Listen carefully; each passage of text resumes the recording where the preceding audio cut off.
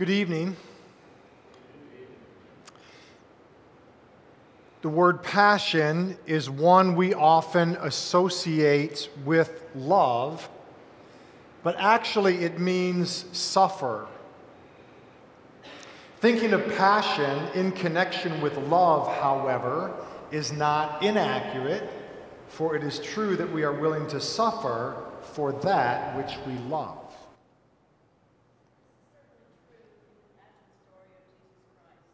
It is the longest single story in the New Testament. It is believed to be the oldest story written down by the gospel writers.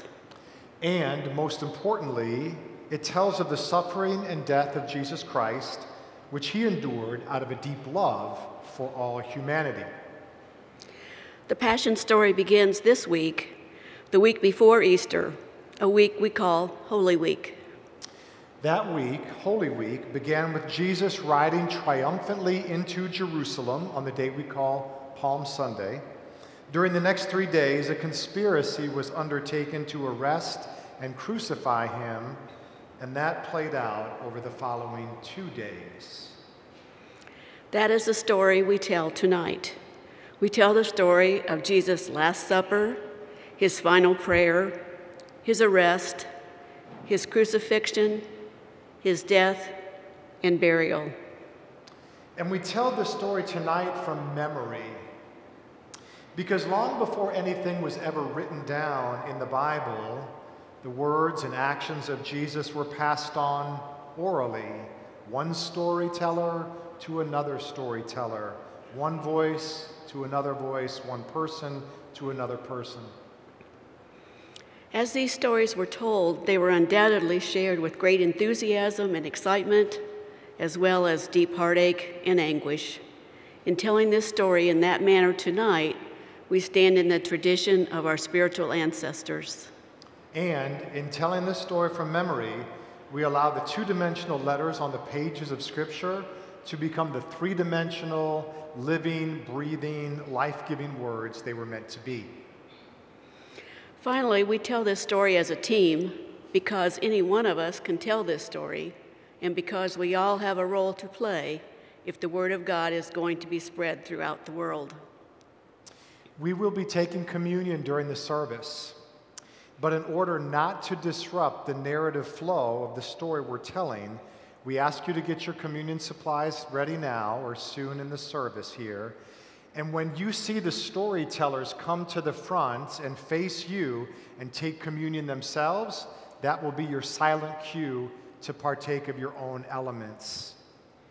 Two other notes about the service. We ask you to put your cell phones on silence or airplane mode, whatever you have to do to keep it from making noise. And then at the end of the service tonight, we will sit in darkness for just a couple of seconds and then when the house lights come back up slowly, the storytellers will exit down the center aisle, and we ask you not to move until they leave the center aisle, and then you can quietly uh, get up and make your way out. And we ask that you leave in silence out of respect for the story that we're telling, but come back on Easter because the story will continue first thing at the beginning of worship.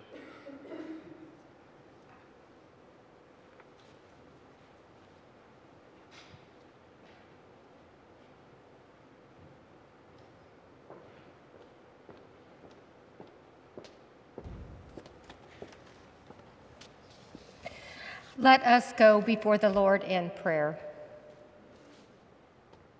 Holy God, you have commanded us to love one another as you have loved us. We confess that we do not love so generously. Gathered on this holy Thursday, we confess that we are capable of denying and betraying you and one another, no less than the first disciples. Forgive us, merciful God, and cleanse us from all our sin. Then guide our feet to walk with you always.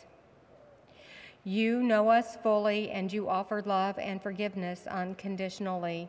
Through your word and spirit, be with us now and instill in us the understanding that that with gratitude for the grace offered and as witness to our faith in Christ, we are empowered to live as true and righteous disciples. Through Christ we pray. Amen.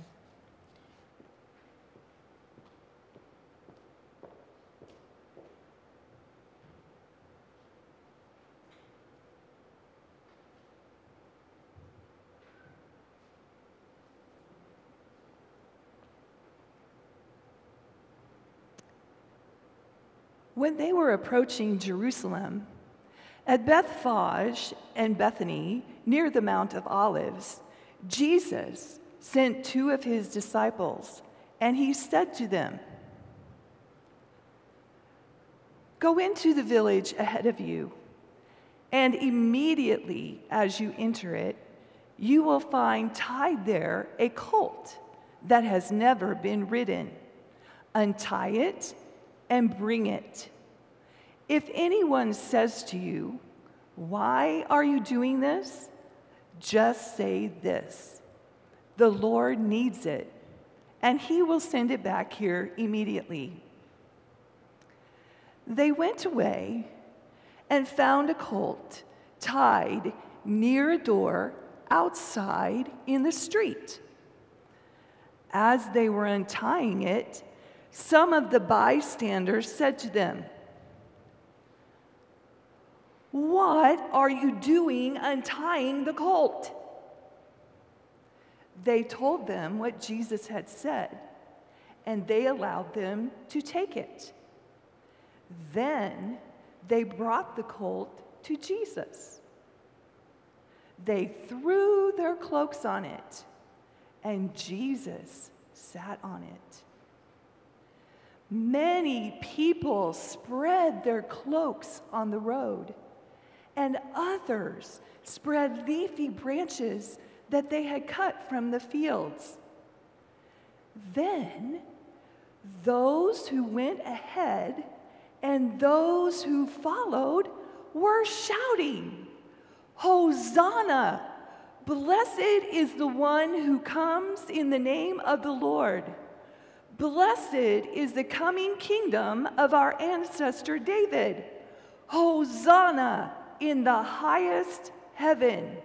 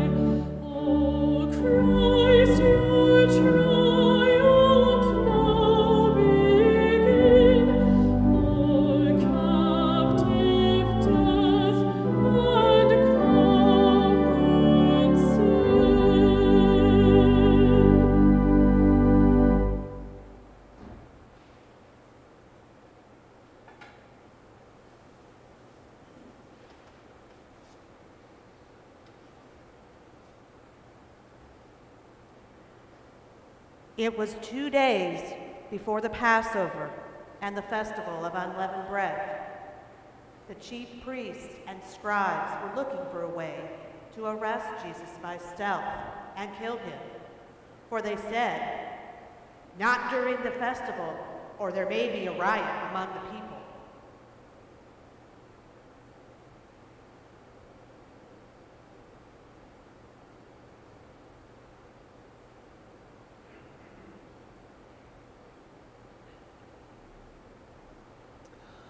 While he was at Bethany, in the house of Simon the leper, as he sat at the table, a woman came with an alabaster jar of very costly ointment of nard. And she broke open the jar and poured the ointment on his head. But some were there who said to one another in anger, Why is the ointment wasted in this way? For this ointment could have been sold for more than 300 denarii and the money given to the poor. And they scolded her. But Jesus said, Let her alone. Why do you trouble her? She has performed a good service for me. For you always have the poor with you, and you can show kindness to them whenever you wish. But you will not always have me. She has done what she could. She has anointed my body beforehand for its burial. Truly, I tell you, wherever the good news is proclaimed in the whole world, what she has done will be told in remembrance of her.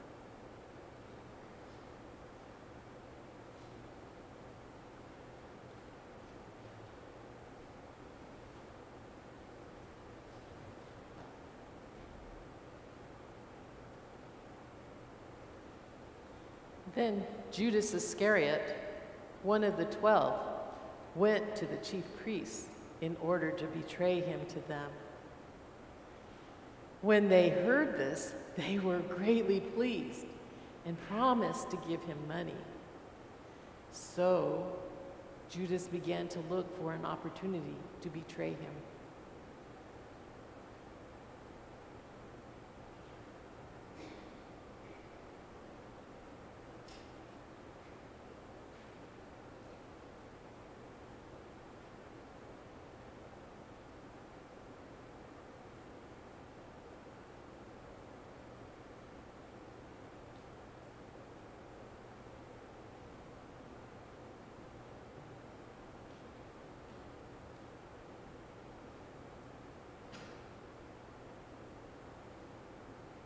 On the first day of unleavened bread, the day when the Passover lamb is sacrificed, his disciples went to Jesus and they said,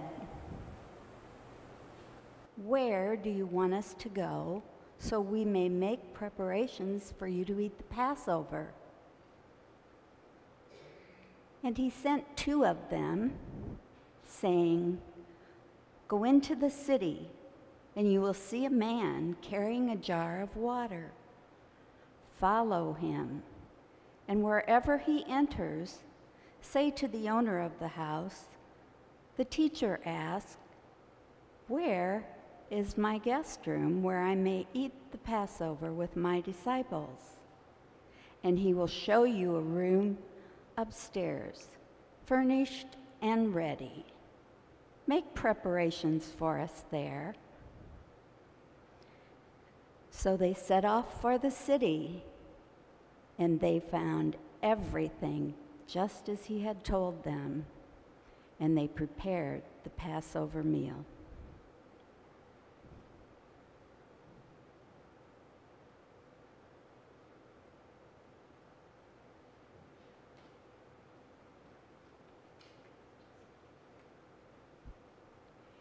And when it was evening, he came with the twelve.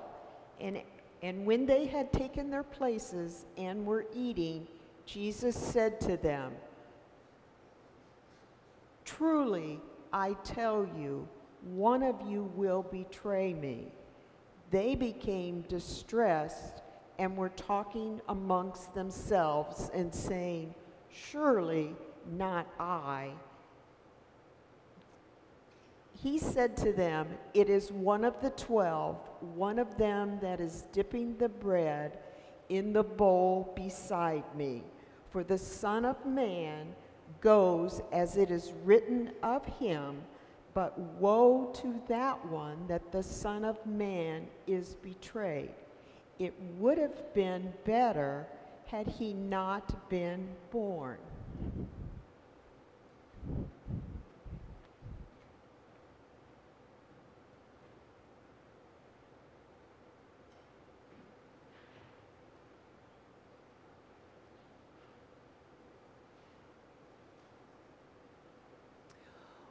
While they were eating, he took a loaf of bread, and after blessing it, he broke it, gave it to them, and said, Take, this is my body. Then he took a cup, and after giving thanks, he gave it to them, and all of them drank of it. He said to them, This is my blood of the covenant, which is poured out for many. Truly, I tell you, I will never again drink of the fruit of the vine until that day I drink it new in the kingdom of God.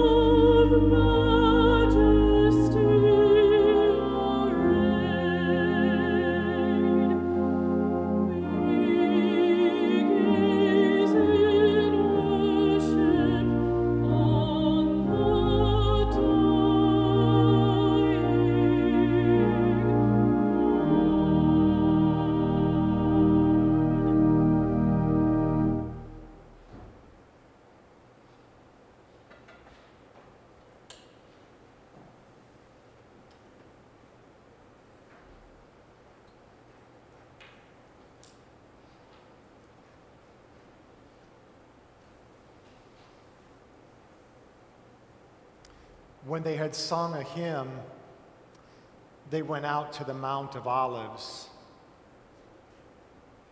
And Jesus said to them,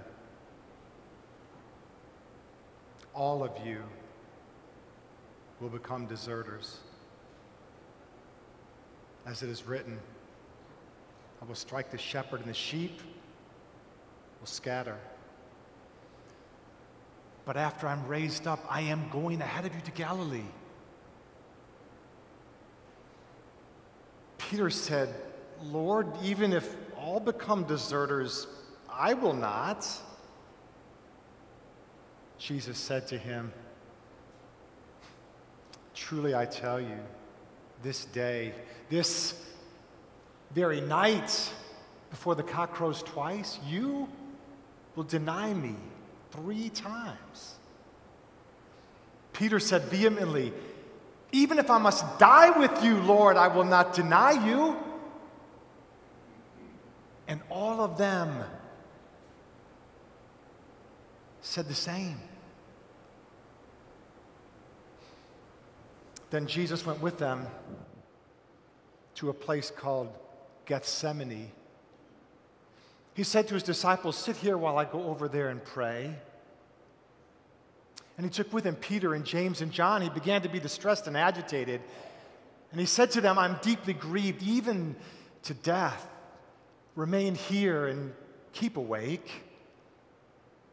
And going on a little farther, he threw himself on the ground and, and prayed that if it were possible, the hour might pass from him. Abba, Father, with you all things are possible. Let this cup pass from me. Yet not what I want, but what you want. He came and, and found them asleep, and he said to Peter, Simon, are you sleeping and taking your rest? Could you not stay awake with me one hour? Keep awake and, and, and, pray that you do not come into the time of trial. For indeed the spirit is willing, but the flesh is weak. Again, he went away and prayed, saying the same thing. Once more, he came and found them asleep, for their eyes were heavy. They did not know what to say. He came a third time and said, Are you still sleeping and taking your rest? Enough. The hour has come. The Son of Man is betrayed into the hands of sinners. Get up. Let us be going. Look, my betrayer is at hand.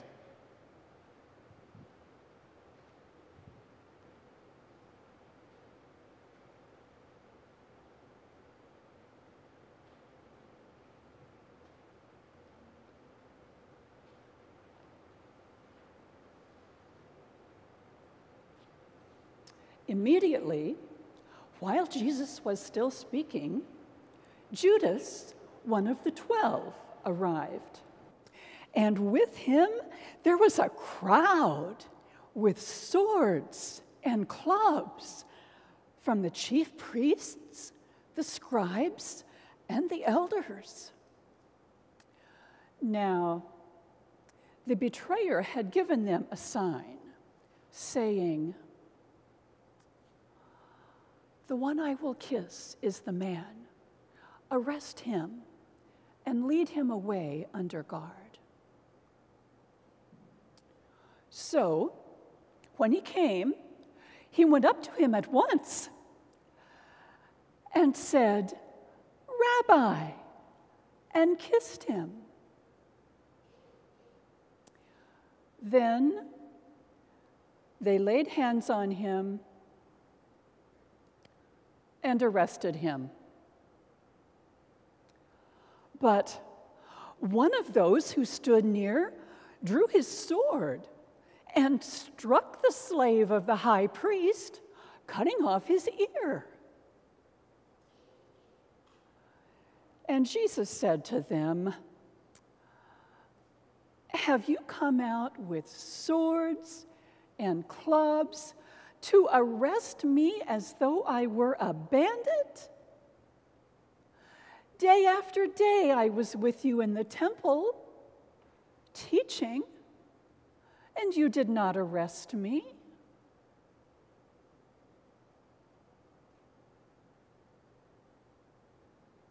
But let the scriptures be fulfilled.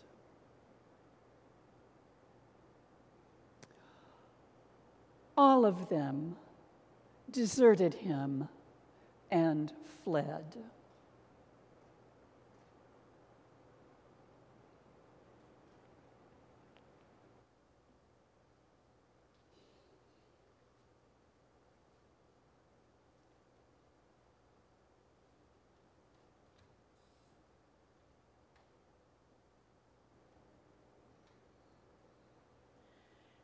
They took Jesus to the high priest, and all the chief priests, the elders, and the scribes were assembled. Peter followed at a distance right into the courtyard of the high priest, where he sat with the guards, warming himself at the fire. Now, the chief priests and the whole council were looking for testimony against Jesus in order to put him to death. But they found none. For many gave false testimony, but their testimony did not agree. Some stood up and gave false testimony against him, saying, We heard him say he would destroy this temple made with hands, and in three days build another one not made with hands. But even on this point, they did not agree. Then the chief priest stood up and said to them, What is your answer? What is it that they testify against you? But Jesus didn't answer and was silent. Again, the chief priest said, Are you the Messiah, the Son of the Blessed One? And Jesus said, I am. And you will see the Son of Man seated at the right hand of the power and coming with the clouds of heaven. The chief priest tore his clothes and said, Why do we need any more witnesses? You heard his blasphemy. What is your decision? All of them condemned him as deserving death.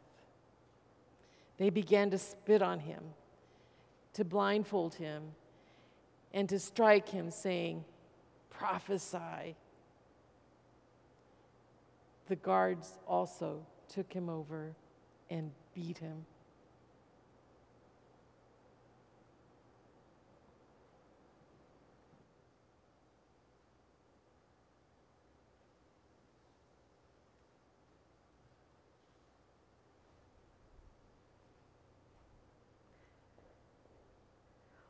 While Peter was in the courtyard below, one of the servant girls of the high priest came by. When she saw Peter warming himself, she stared at him and said, You were with Jesus, the man from Nazareth. But Peter denied it, saying, I do not know or understand what you are talking about. And he stepped into the forecourt.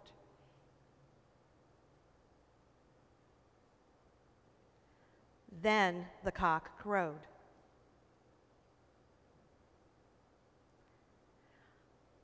Again, the servant girl said to the bystanders,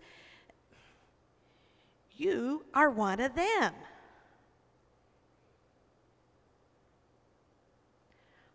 But again, Peter denied it.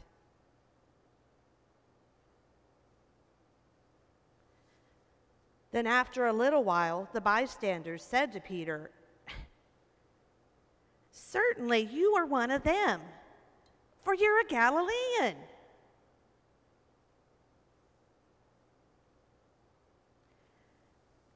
Peter began to curse and swore an oath.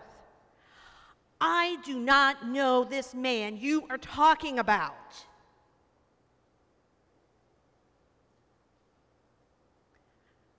At that moment, the cock crowed a second time.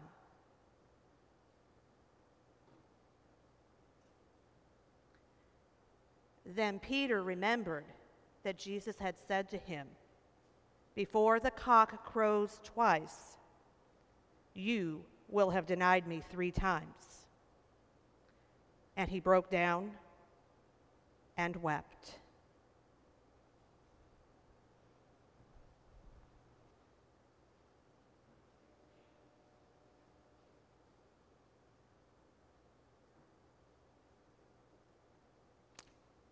As soon as it was morning, the chief priests held a council, held, held a consultation with the elders, the scribes, and the whole council.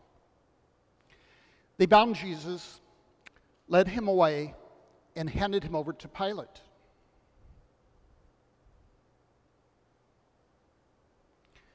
Pilate asked him, Are you the king of the Jews?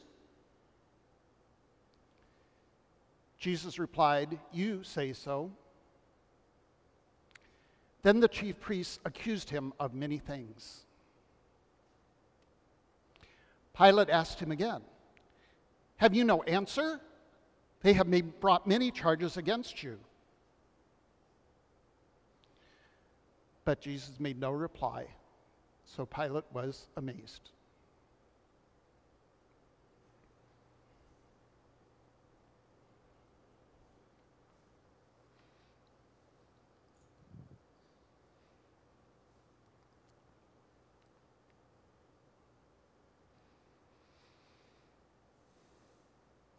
Now, during the festival, Pilate used to release for them a prisoner, anyone for whom they asked. A man called Barabbas was in prison with the rebels who had committed murder during the insurrection. The crowd came together and began to ask Pilate to do for them according to his custom. And Pilate said, Do you wish me to release for you the king of the Jews? For he realized it was out of jealousy that they handed him over. But the chief priest stirred up the crowd to ask for Barabbas instead. And Pilate said, Then what do you want me to do with the one that you call the king of the Jews? And they shouted back, Crucify him.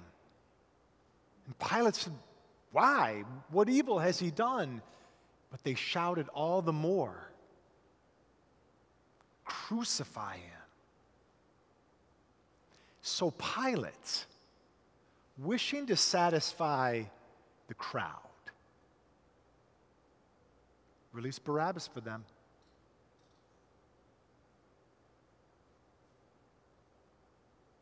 And after flogging Jesus, handed him over to be crucified.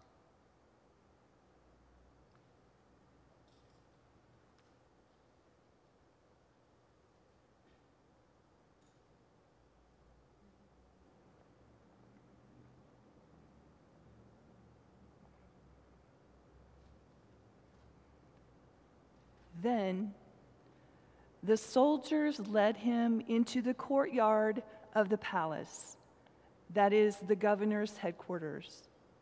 And they called together the whole cohort. And they clothed him in a purple cloak. And after twisting some thorns into a crown, they put it on him. And they began saluting him Hail, King of the Jews! They struck his head with a reed, spat on him, and knelt in homage to him. After mocking him, they stripped him of the purple cloth and put his own clothes on him. Then they led him out to crucify him.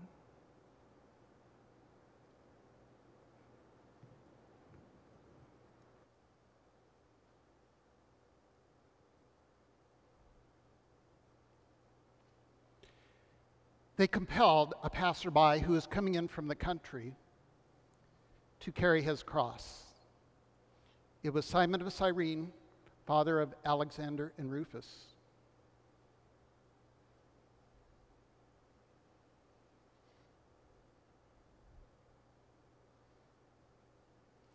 They brought him to a place called Golgotha, which means the place of a skull. They offered him wine mixed with myrrh, but he did not take it.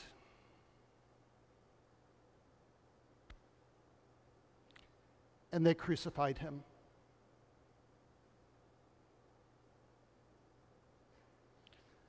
Then they divided his clothes among them, casting lots to decide who would take what.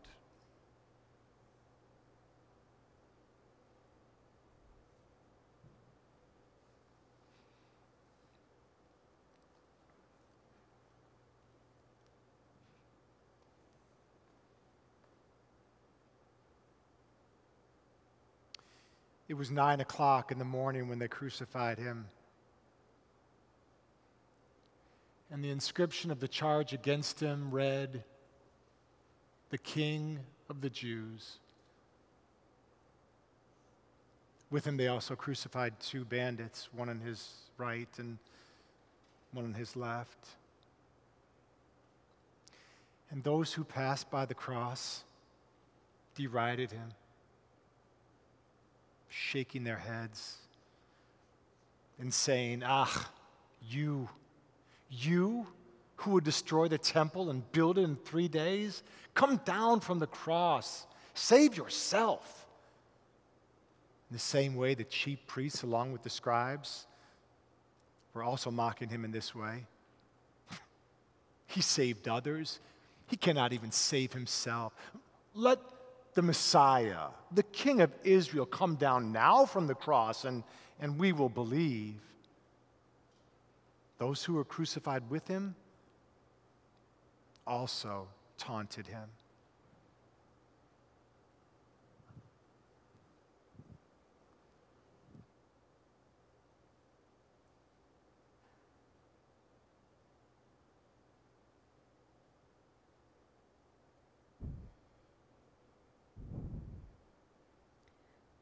When it was noon, darkness fell over the whole land until three in the afternoon.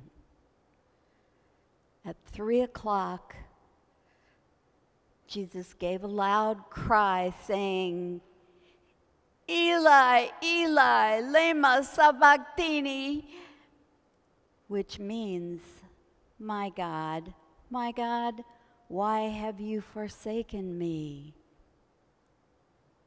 And when the bystanders heard it, they said, He is calling for Elijah. And some of them went and soaked a sponge in sour wine and put it on a stick and gave it to him to drink, saying, Wait, let's see if Elijah will come and take him down.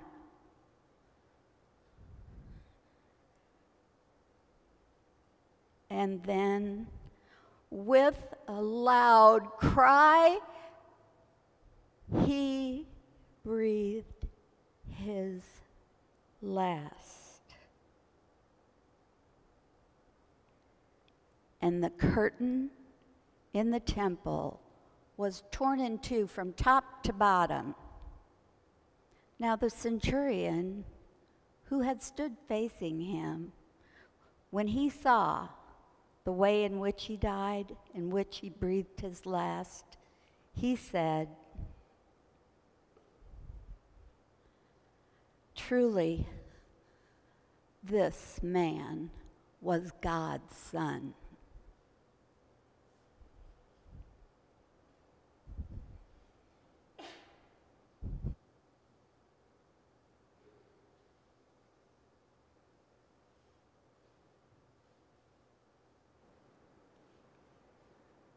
There were also women looking on from a distance.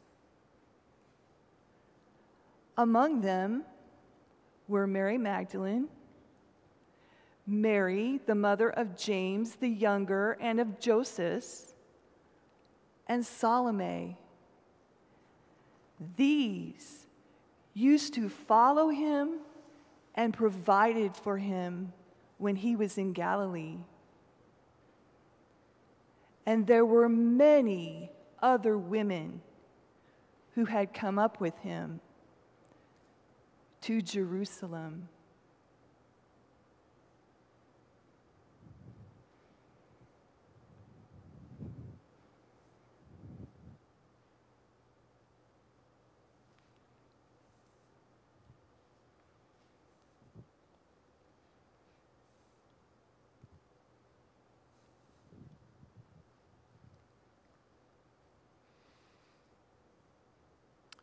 When it was evening, and since it was the day of preparation, that is, the day before the Sabbath, Joseph of Arimathea, a respected member of the council, who himself was expectantly waiting the coming kingdom of God, went boldly to Pilate and asked for the body of Jesus.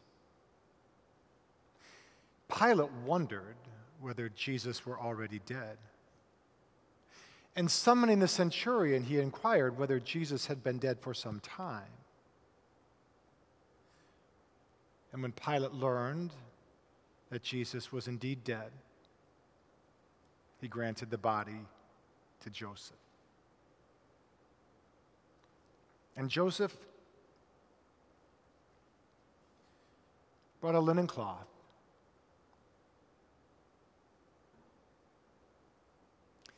And taking the body, he wrapped it in the linen cloth. He laid it in a tomb that had been hewn from the rock. And he rolled a stone in front of the door of the tomb.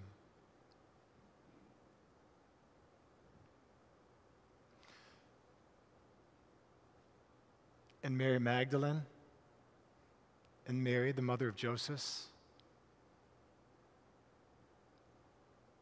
they saw where the body was laid.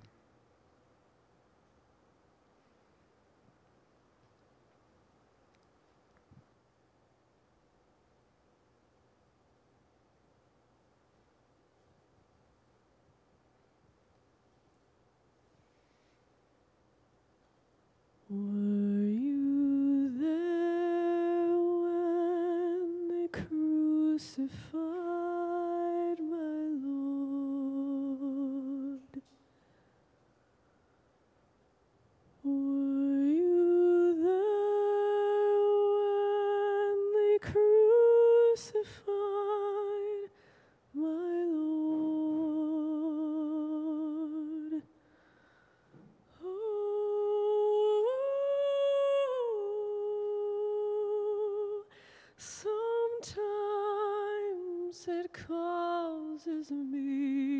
me